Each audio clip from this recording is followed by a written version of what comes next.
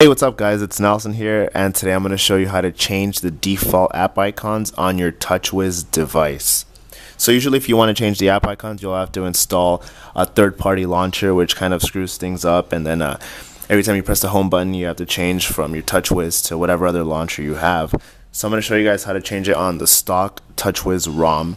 Uh, for this to work, you'll need to be rooted. So make sure that your Galaxy Note 3 is rooted. We have a guide for that.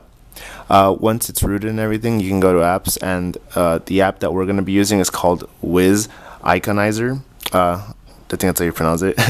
um, you open it up, and here you have local and online. If you go to online, um, you're supposed to find all the online packs that are all available to download directly from here, but the application is currently in beta, so uh, in future downloads it should work. But for now, you have to tap here, and there's a link that'll send you to uh, one of your web browsers. And from there, you'll have three icon packs to pick from. You'll have a KitKat, Transparent, uh, Long Shadow, and Belle UI free. Uh, you should see way more packs coming in really soon. So once you download that, it'll come in a zip file, and then you'll want to unzip it.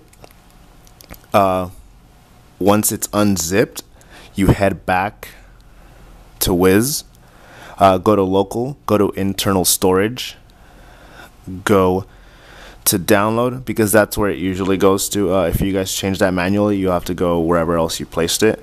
Uh, here you can see that I have a KitKat transparent folder and this is what I unzipped, which is a KitKat transparent APK. So make sure you have an APK available. Uh, on that, you hold down on it and then you press apply. There you'll restart device and when we come back you'll see that the icons have been changed.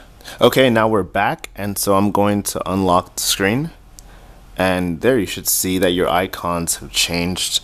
Uh, it won't work all across the board uh, especially with smaller applications or unpopular applications and I have a lot of those on here since I test out a lot of them but for the most part the apps that I enjoyed uh, like Twitter, uh, Xposed, Chrome, Facebook, all of those work and they work neatly and you, and you can package them on your home screen so that you won't have all these and you can hide those elsewhere. But if you go through you'll see which ones work and which ones don't. Alright well that's it. Thanks guys. Don't forget to like comment and subscribe and check out the full tutorial. Alright thanks guys